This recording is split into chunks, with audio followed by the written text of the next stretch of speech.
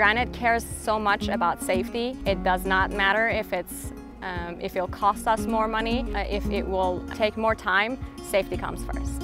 Our safety culture is really strong and we have a safety meeting every morning at Take 5, but that's just because we're always trying to cover all of our bases and be as safe as possible. Granite safety is a major, major part of all of Granite constructions. We always push safety to be the goal and obviously we all want to send everybody home at the end of the day.